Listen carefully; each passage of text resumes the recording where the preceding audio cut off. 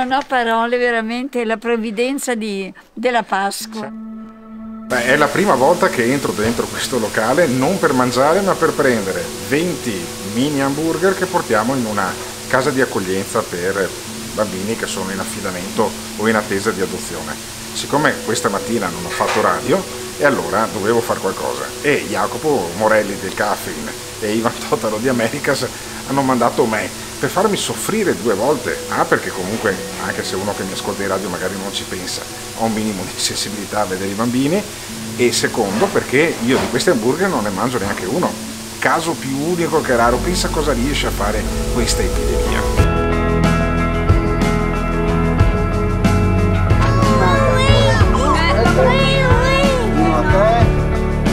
Dopo cena ci sono anche i ciuccetti.